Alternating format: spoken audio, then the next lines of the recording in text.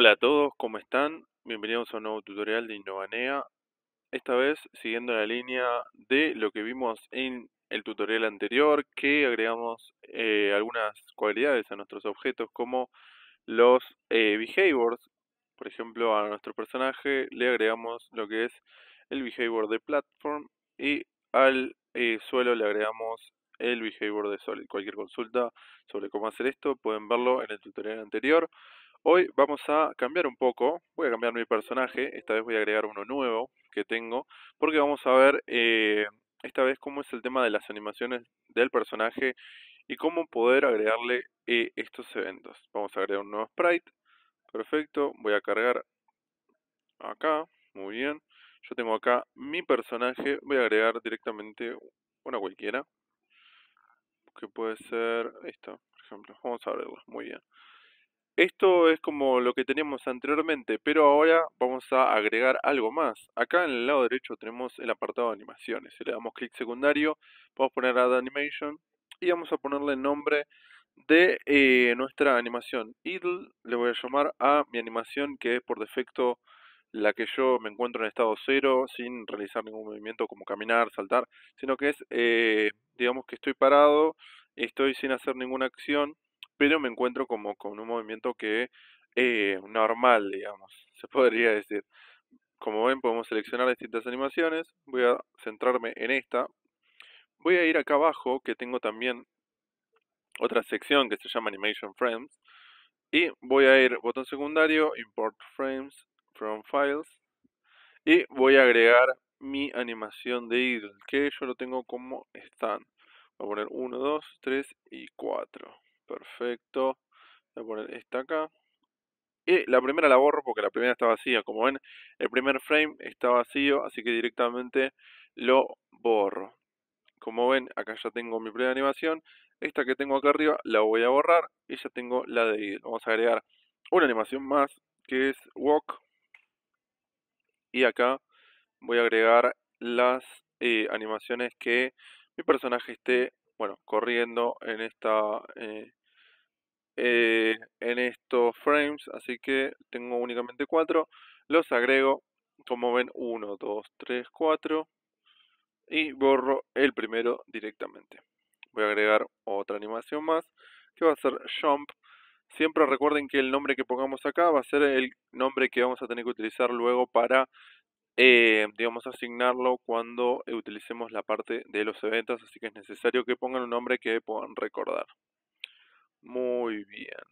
Yo acá me confundí y puse en walk, puse el salto, así que traten de nombrarlos de la mejor manera. Borro el primero como ven y acá ya tengo la sección de salto. Como ven, es ahí. Perfecto. Muy bien, vamos a agregar una animación más que va a ser eh, down, que es cuando mi personaje directamente se agache. From files, vamos a poner 1, 2, perfecto, borramos el primero y ya mi personaje está abajo. Muy bien, ahora esto lo cerramos directamente y acá digamos que ya tenemos agregadas completamente nuestras animaciones. Ahora nosotros eh, con estas animaciones vamos a tener que agregarle acciones, o sea, eventos, para que estas mismas animaciones puedan realizarse. Porque si nosotros directamente tratamos de ver nuestro programa en eh, este estado, como ven, no sucede nada, no se produce ninguna acción y nuestro personaje directamente tampoco se mueve. Porque tampoco le agregamos el platform, como ven. Ahora si ya tiene el platform, lo vamos a visualizar a ver, como ven, sigue estático, no hay ninguna animación, aunque la hayamos integrado. Ahora tenemos que ir al apartado de Event Sheets. Si no les aparece acá, lo tienen acá en la derecha en las carpetas de los proyectos. Hacen doble clic y les va a aparecer. Ahora, antes que nada, vamos a hacer clic secundario acá. Vamos a añadir un nuevo objeto, pero esta vez va a ser un input, que va a ser de tipo keyboard. Para que podamos utilizar cualquier tecla del teclado eh, y utilizarla para, digamos, eh, accionar y que se produzca alguna animación. ponemos insert y como ven acá ya la tenemos agregada. Excelente. Muy bien, primero que nada vamos a agregar un evento nuevo, vamos de nuevo, vamos acá add event, seleccionamos keyboard, next, seleccionamos acá donde dice key is down, o sea cuando una tecla es presionada, ponemos next, y donde dice key nos pide que, eh, digamos, qué tecla va a ser. Ponemos click to choose, seleccionamos ahí, vamos a poner primero la tecla de la, derecha, como ven, esto va cambiando de acuerdo a la tecla que yo seleccione. Vamos a poner a la derecha primero, ponemos OK, ponemos Done y ya directamente se nos agrega. Vamos a agregar una nueva tecla, ponemos Next, hacemos el mismo procedimiento, pero ahora seleccionamos la tecla izquierda. Muy bien, ponemos Done. Ahora, ¿qué acción podemos hacer cuando, eh, digamos, eh, presionemos esa tecla a la derecha? Vamos a agregar una acción. Vamos a poner que sprite. Muy bien. Vamos a agregar algo muy importante, que es mirrored. ¿Por qué? Porque cuando nosotros vamos a ponerle que el right sea not mirrored. ¿Por qué no not mirrored o por qué es que agregamos mirrored? Mirrored es, digamos, un efecto espejo. espejo, ¿por qué? Porque cuando nosotros vemos nuestro personaje, está mirando para la derecha. Si nosotros presionamos la tecla para la derecha, va a seguir mirando a la derecha, pero si, digamos, cliqueamos a la izquierda, nuestro personaje va de espaldas. Así que la idea de agregar esta acción es que cuando nosotros eh, apretemos la flechita para la izquierda, se produzca este set mirrored que hace efecto espejo en el personaje y eso hace que mire hacia la izquierda. Y digamos el personaje no va de espaldas y ya cuando miremos para la derecha va a mirar para la derecha y cuando miremos para la izquierda va a mirar para la izquierda. Ahora vamos a agregarle la acción, vamos a agregarle la animación. Seleccionamos Sprite, vamos a Set Animation y ahora tenemos que agregarle qué animación vamos a usar. Yo, eh, mayormente se tiene que escribir, hay veces que aparece, pero por eso les pedí que recuerden el nombre de la animación. La animación es Walk. Ponemos Done y a Left le agregamos también la misma animación, que sería Walk. Perdón, ahí va. Perfecto, ponemos Done y como ven ya le agregamos otra acción. En cada número van a poder ver que eh, están enumerados los eventos que se van realizando. Dentro de cada evento podemos agregar las acciones que sean necesarias, así como en la cantidad de eventos también que sean necesarios. Vamos a ver cómo es que va nuestro programa hasta el momento.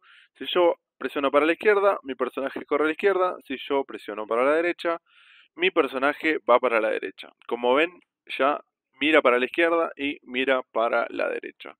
Eso es muy importante tener en cuenta, en cuenta para que, eh, digamos, nuestro personaje no vaya de espaldas y ya tengamos una sensación un poco más estable de lo que es nuestro videojuego. Muy bien.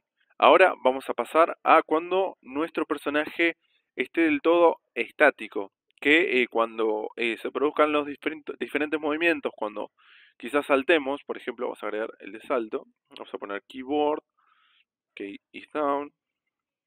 Vamos a elegir la flecha para arriba. Ok, le damos done, queda agregada. Agregamos la acción. Vamos a sprite, set animation. Y elegimos nuestra animación que es jump. Muy bien.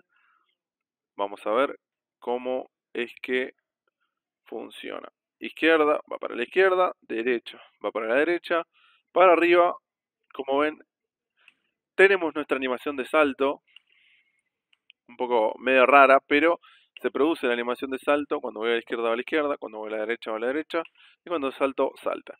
Ahora, ¿cuál es el problema? Cuando nosotros hacemos estas animaciones de izquierda a derecha, nuestro personaje queda en estado corriendo, por ejemplo, o en estado saltando, y digamos que nuestro personaje debería tener un estado cero, una animación de eh, cuando no se produzca ninguna de estas, cuando no haya movimiento y cuando no haya directamente ningún salto. ¿Cómo agregamos esto? Vamos a ver. Si pensamos un poco cómo es nuestras distintas animaciones, sabemos que cuando no se produzca ningún movimiento debería haber una animación, pensándolo así. Y cuando hay algún movimiento se tiene que producir alguna animación específica. Vamos a agregar un nuevo evento que va a involucrar mi sprite, next.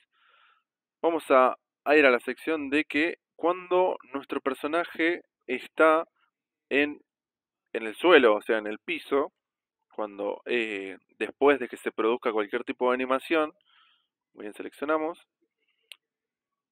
vamos a agregar un evento más. Y que esté en movimiento, porque, digamos, nosotros vamos a tener que negar esta misma acción porque cuando está en el suelo, pero no se produzca ningún movimiento, vamos a darle clic secundario y ponemos invert platform is moving, o sea, cuando no se está moviendo, pero el personaje está en el suelo, vamos a ponerlo esto como eh, un bloque. Esto se puede poner, ahí está, perfecto. Vamos a ponerlo como make or block. Que lo que pasa con make or block es que si sucede una acción o la otra, se va a agregar una, una acción. Digo, si sucede un evento o el otro, perdón, va a suceder una acción. Si mi personaje está en el suelo o mi, personaje no se está moviendo, entonces la animación de idle. Vamos de nuevo. Si mi personaje está en el suelo, no se me aplicó el microblock, me parece. Ok. Eh, ah, me confundí. En el 4, para agregar otra condición directamente dentro, le agregamos así. Vamos a isMoving. Acá, perfecto. El 5 lo vamos a borrar. Y ahí está. Directamente lo seleccionamos todo y ponemos Make or Block. Y ahí ya nos aparece el OR en el medio. Entonces, esta condición vamos a invertirla. O sea, si nuestro personaje está en el suelo y no se está moviendo, entonces se produzca la animación. Vamos, muy bien. Como ven, nuestro personaje ya tiene una animación en estado cero. Si yo me muevo a la izquierda, tenemos ahí un pequeño conflicto de animaciones. ¿Por qué? Porque cuando salto directamente no, pero cuando voy a izquierda o derecha, directamente eh, esto influye. ¿Por qué puede ser? Les voy a dar dos segundos para que reconozcan este error.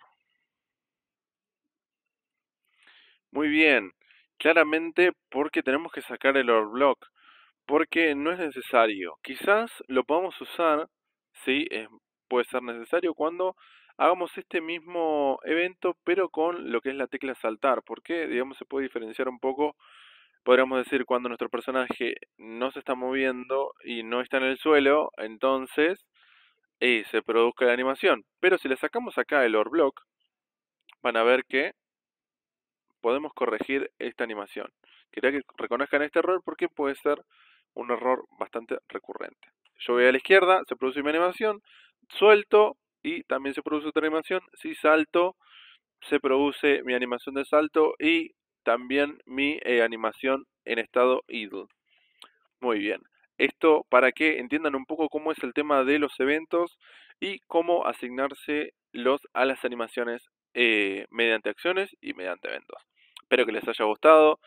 Seguiremos después más adelante con más tutoriales para que puedan agregar más eventos a su proyecto.